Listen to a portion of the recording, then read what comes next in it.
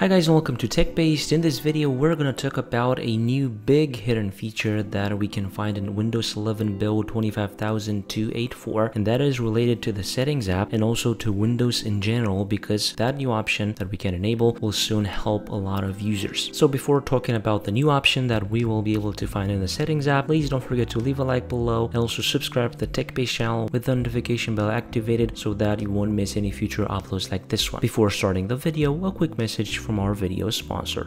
This video is sponsored by KeysOff.com. KeysOff.com offers Windows, Office, and other tools licenses at a very favorable price. For example, you can get the Windows 10 Pro license for just $7 by using the coupon code TB50, and you can also upgrade for free to Windows 11. By using the coupon code TB50, you can also get Windows 11 Pro for just $13. Office licenses have even a better discount with 62% off by using the coupon code TB62. Check out the great prices from KeysOff.com and the links from the description below and don't forget to apply the coupon codes. Thank you to KeysOff.com for the sponsorship. Let's continue with the video.